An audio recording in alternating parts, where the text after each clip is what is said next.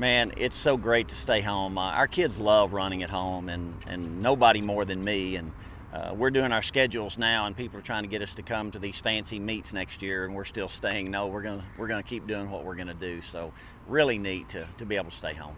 And you, you mentioned how in the indoor a lot of people are wanting to come here. Do you think next year outdoor you'll get more at home or about the same or anything about that? We're hoping to add one more home meet and try to have three. Maybe have one early April. Uh, you never know with the weather what you'll get. And then we've just been so lucky uh, the last two or three years having at the end of May and or beginning of May and trying to figure out if uh, that's the best time in Lubbock to have. We've had no wind two years in a row, so it's been pretty nice. This this meet last week, a lot of personal bests. Did you see a, a different focus or a different drive of this team? Was there anything really different about this last week? I'll tell you what last week uh, kind of set up for us is we've got the Big 12 championships this week, and that meet is one of the few scored meets we do with Nebraska, K State, and Wichita State. Nebraska is the perennial, they, they give an award, the national champion for quadrangulars or duels in the country. And, and today we won that. They came out with that today by beating Nebraska this weekend. And what it did, they're, they're just really good. And Gary Pepin's my great friend. Uh, it, it helps kind of get that mentality for next week. And our distance runners knew they had to beat them the last next to last race of the day, and they went one two. Our guys and and you know everyone knew what was going on. Our four x four was ready to run with the A team or the B team, and we were just depending on what we were going to do. And so I love seeing that spirit among the kids and and planning to win and, and everybody helping out. Is it nice to be able to have so many kids resting this weekend, the week before you head off to Big 12s? Yeah, we are about to really hit a tough uh, section of our, our year. And so we have to go run two hard days at Big 12.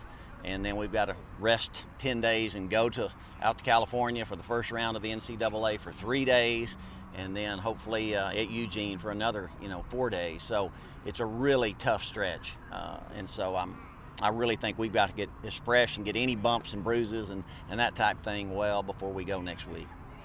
How pleased are you just with the position of where your team is right now? And you've obviously just been really confident about how strong this team is outdoor, but are they exactly where you want them to be?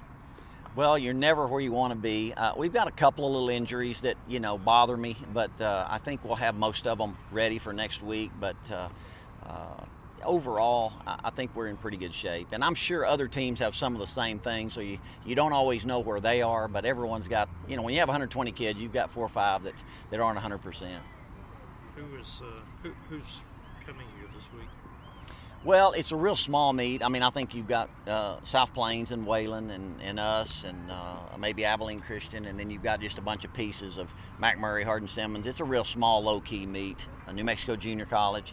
I think it's kind of important to that junior college group, Western Texas.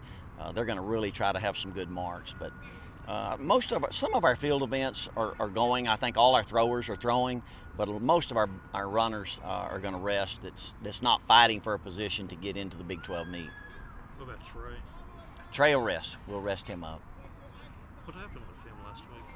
Well, I, I think he just uh, was was a little bit off. He kept coming off his curve, and uh, you know, wasn't going vertical. And I think he quite he couldn't quite figure it out. You know, during the competition. Then when he when the meet was over, he looked at the film and go, "Oh my goodness, why was I doing that?" And so uh, he's already, I think, fixed it in practice. And uh, you know, I, I think it just it was one of those things that just happened to him you know, and, and, and unfortunately, uh, I always tell him that he's nothing but big time. The, the, the smaller the meet, the worse he always is. You put him in a big competition, and he's going to get after you. So uh, I think he thrives on that. Does Werner still have the neck issue? Or? Yeah, Werner's neck, you know, he, he's had a little, he slept on it wrong, and then it got really bad, and we've just been really careful trying to get him well. And uh, he, he had some swelling in his neck, and so uh, I don't really know all the extent of it, but it's it's really looking good this week, and we're just being real cautious. We we want to go into Big 12 with him 100%. And a javelin arm's like a baseball pitcher, kind of. You got to have fresh arms, going to be better. So uh, I think he'll be fine.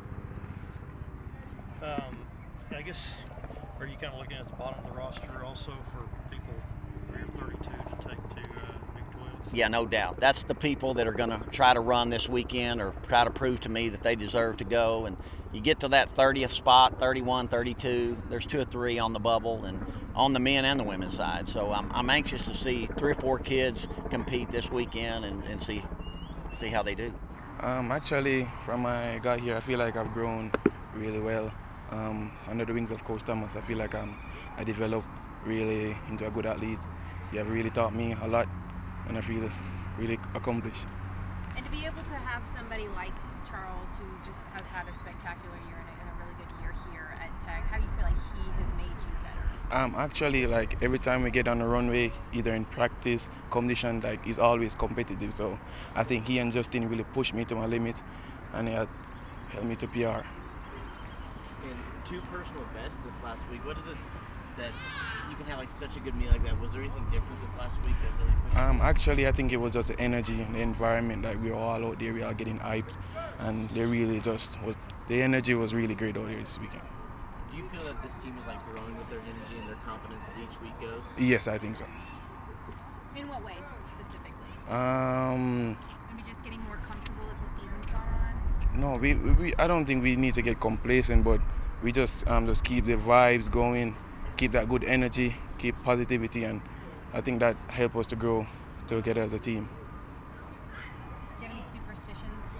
Um, no None. superstitions. Mm, I'm not clicking right now. Okay. Have you, have you normally been more of a better at long jump or triple jump? Um, actually, I was a bit of a triple jumper, but since I got here, like long jump just kind of outgrow my triple jump. So, but triple jump is kind of my favorite event. But now, anytime I get on the runway, I just do this one that come to me at that time. What have you kind of done to uh, get your triple? You said the other day that you're kind of getting your rhythm back in the triple jump. What are you kind of do, working on form or technique wise? Um, basically, we're just working on technique, just getting the timing right. season has been really rough. It's just not coming to like a coming together because like I'm a freshman. I had to get used to like practicing consistently because coming out of high school, I practiced when I wanted to. So I had to get used to the process. And at first, I wasn't trusting it, but I started trusting it, and then 20.9 happened. What do you kind of attribute that to? Or your big jump? Um, I, I think it was mostly my team. Like the atmosphere was just really great, and I was pumped. I seen another freshman go out there, 20.3, Chelsea. She jumped 20.3, so I was like, okay, yeah, I gotta go get it now. And I assume in high school you probably did a bunch of events, and now you're kind of narrowing it down to a couple of events. Is that correct or Uh, no, I Not still really? I'm still a heptathlete, but I'm just gonna focus on all my opens right now. What all did you do in, in high school? Uh, I did the 4x4, 300 hurdles, 100 hurdles, high jump, and long jump. Did you have a favorite or one that you were kind of better at or more known for? No, I was good at all of them, so I really didn't. It's just whatever day it was, that was my favorite. How was throwing the javelin for the first time this week? Um, it was, it was good. It went good. I did everything he told me to do. He wasn't like upset or anything. You had mentioned just kind of some of the transitions that have come along this year, just with track in particular. But what other changes do you feel like have you know been tough to overcome, just being uh, being a freshman? Um, the whole not being around my parents thing, that was kind of tough. But I mean, I adjusted well. It was just like, you just got to learn how to be mature. Are there any events in the HEP that were surprising to you? You know, that you kind of found yourself being more naturally gifted at, or you know, events like the javelin that you hadn't done before that maybe challenged you a lot? Shot put challenged me a lot. I still suck, but I'm getting better. So So is part of that like finding whenever- whenever you're talking about like the practicing every day and just being away from family, is part of that just finding your own drive and your own uh, own motivation on a day-to-day basis, or what is that biggest part of it like overcoming? Um, yeah, it's like being motivated to come out and practice. Like I just, you just gotta really want it to do it. And like I feel like if I didn't have like the people I came in with, like the group of freshmen, I probably would have just been like, forget it. But I feel like they like keep me motivated with everything. Who else on the team is helping motivate you?